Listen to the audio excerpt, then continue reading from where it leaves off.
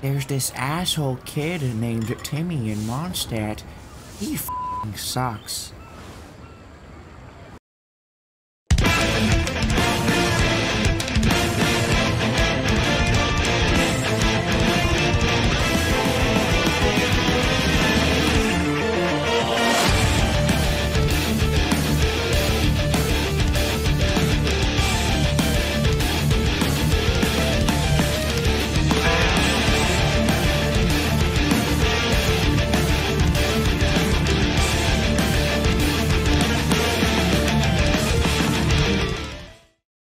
Alrighty, Zhongli, the Chad Geo Daddy. He'll make a deal, and if you break the deal, he'll make you kneel for your ordeals and peel your face and make you squeal. uh, he also does this to people who don't like and subscribe to this channel, so Do it. Today we're drawing Zhongli, because the maintenance is up right now and it's gonna take a few hours for him to be released And I don't want him, I don't want him, I don't want him. because I already have him, and I think his Constellation 1 is really unnecessary. So, Yeah. let's draw him. Okay, so story time. He had a girlfriend named Guizhong, the goddess of dust. Sorry if I'm butchering that pronunciation. You might be familiar with that name because Guizhong Ballista was used in the Archon Quest, because she made it. So yeah, Guizhong was a weak goddess, but she was smart since she pretty much designed the weapons that were able to damage Osial. Apparently, she made a alliance with Zhongli, creating the Guili Alliance. I don't know if I'm pronouncing that right either, merging their fellow worshippers into the same group. She was the brain and Zhongli was the brawn. But unfortunately, she died during the war, and Zhongli decided to move the Guili Alliance to the south, which is now known as the Liyue Harbor. Moving on to elemental abilities. Elemental skill. Zhongli uses his almighty push, damaging nearby enemies in an AoE. After a moment, he creates a Geo Shield that tells every enemy in the game to f***ing grovel, because it's thick. And it also reduces nearby enemies' elemental and physical resistance by 20%. Elemental Burst. Chibaku Tensei. Zhongli uses planetary destruction, darkening the damn sky, and summons a big-ass meteor in a big-ass AoE, and smashes the out of everything with heavy geo damage, while also petrifying them for eternity. Actually, it only takes like 5 seconds, but to them, it's gonna feel like an eternity, cause they're Dead. No, no, no, no, no, no, no, no, please, please, please, please let me lose pity.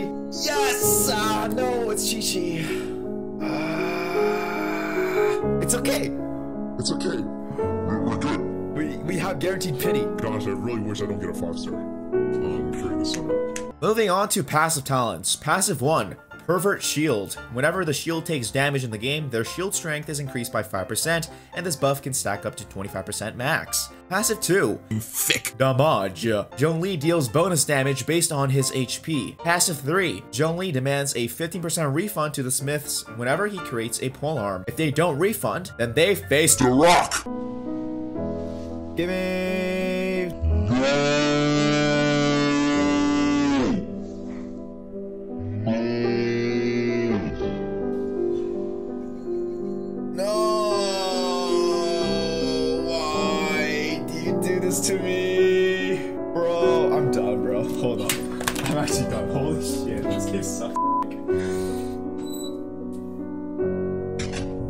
Moving on to constellations. Constellation 1, Extra PP. Zhongli can summon another PP because he's pimp like that. Constellation 2, your planetary destruction gives your teammates shields now. Constellation 3, your almighty push gets stronger. Constellation 4, your meteor AoE gets bigger and your petrification lasts 2 seconds longer. Constellation 5, your meteor hits harder. Constellation 6, when your almighty shield is active, 40% of incoming damage converts into HP. So have fun, because this can apply to anyone. I feel like uh, Constellation 1 and 2 is and I say this from the bottom of my heart because um, I really didn't need his Constellation 1. I, I really didn't.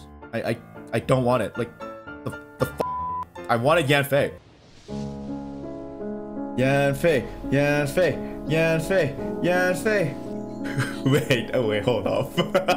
wait, wait, don't do this. Come on. Moving on to artifacts. So I like using burst support Zhongli with HP, geo damage bonus, and HP, because his HP artifacts still affect his damage and his shield. But if you want to squeal your enemies by sending them to the prehistoric times, then go with the typical attack, geo damage bonus, and crit damage. Or if you want the shield that makes the enemies grovel, then you can technically just go HP, HP, HP, but uh, that's all up to you. For substats, I just focus on crit rate and crit damage, then HP. I think the crit damage and crit rate is just a valuable stat for any kind of builds, whether you're building support or not. But if you purely want to go for HP, since it's impossible to get lucky with artifacts, then go ahead and go with HP, because that's still great. But his Constellation 1 is not. I'm not even gonna chant your name.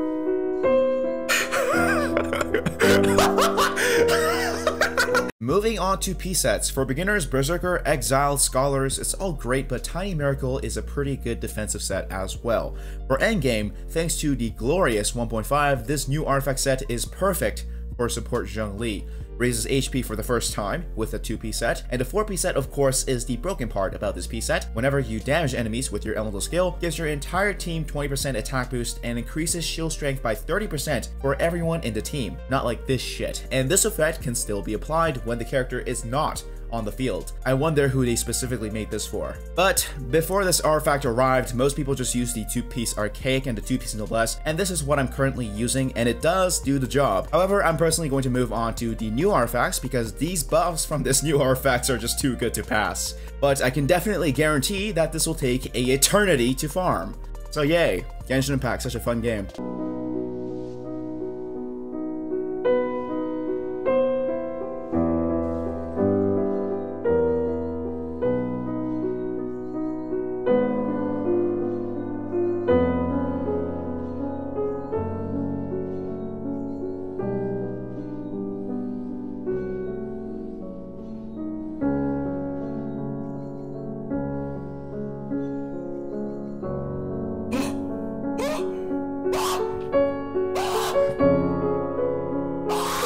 Alrighty, weapons. Starting with 5 stars. Primordial Jade Spear. Amazing for auto attacks. Also, the crit rate is nice. Homa, the stereo... Uh, that's... that's I can't speak. The Steroid Spear that gives Zhongli big damage thanks to the HP based buff and also the 66% crit damage. Vortex, great, but get a shield, so it's better. And for some reason, it's not featured in this banner. That's kind of stupid. Skyward Spine gives you energy and crit rate and attack speed. Very nice and underrated spear. Moving on to 4 stars. The Racist Spear. Great ability, but you need a team full of Liyue Chads. And I probably pronounced Liyue wrong. Blackcliff, crit damage, decentish ability, but crit damage part rules over everything. Reddick Spear. Amazing for support, giving you more crit rate than the Jade Spear. I use this for Zhongli right now. Royal Spear. I said this before, I'll say this again. Timmy of all weapons. It sucks.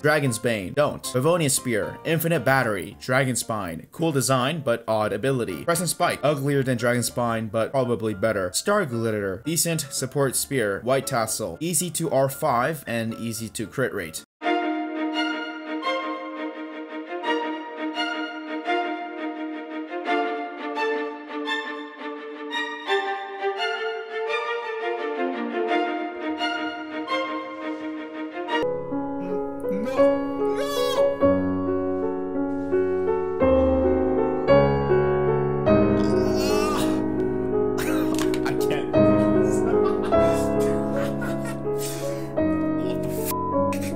Okay, teams. Yeah, uh, you don't really need a guide for this. Zhongli fits in anywhere. Unfortunately, he fits in anywhere, including my, you know, inventory, and also he money. Uh, yeah, uh, uh, uh, yeah, he fits in anywhere. But as a small tip, I guess Georesonance works very, very nicely in a Zhongli team, so make sure to take advantage of that.